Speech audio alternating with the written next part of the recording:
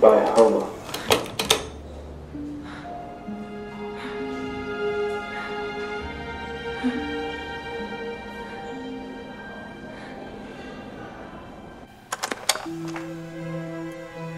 The Odyssey by Homer.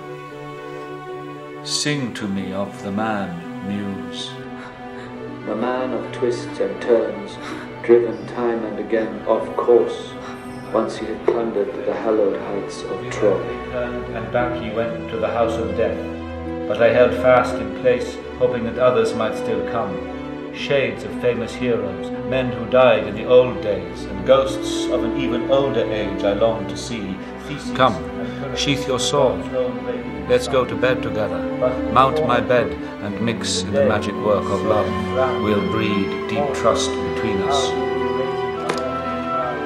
Not for all the world, not until you consent to swear, goddess, a blinding oath, you'll never plot some new intrigue to harm me. Says again, straight away she began to swear the oath that I required. Never, she'd never do me harm. And when she had finished, then, at last, I mounted Circe's gorgeous bed. So, once when young dawn with her rose-red fingers shone once more, they yoked their pair again, and out through the gates and echoing colonnade they whipped the team to a run, and on they flew, holding nothing back, and the princes reached the wheatlands.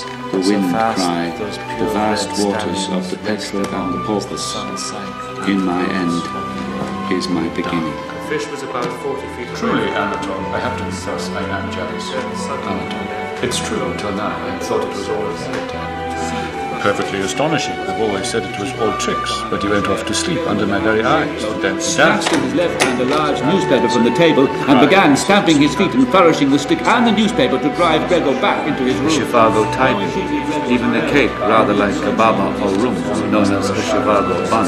And at one time you only had to say to your slave rider, Zhivago's flesh, rather as if you had said, she knew that to walk, carried you off in his slaves, and chariot king was so at last.